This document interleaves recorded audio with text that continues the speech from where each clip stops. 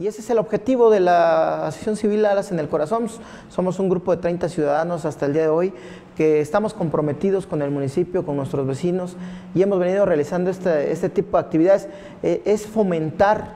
eh, el buen actuar con nuestros ciudadanos, el buen actuar con nuestros vecinos, eh, con las amas de casas, acercarles y dotarlas de herramientas para que puedan tener fuentes de autoempleo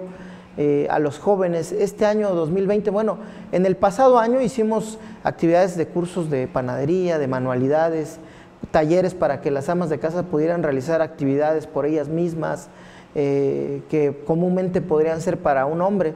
Entonces, sabemos que hay muchas madres solteras, sabemos que hay muchas, muchas mujeres que todo el día se encuentran solas en, en casa y con este tipo de cursos podemos garantizar que ellas puedan hacer algunas actividades que sin un conocimiento básico lo pudieran tener.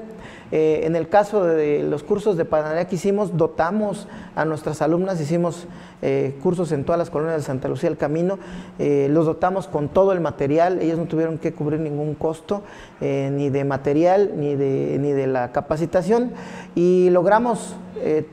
capacitar a muchas amas de casa, a muchos hombres, a muchas mujeres que, que hoy en día están realizando esta actividad, la mayoría de ellos, y así vamos a seguir con estas actividades.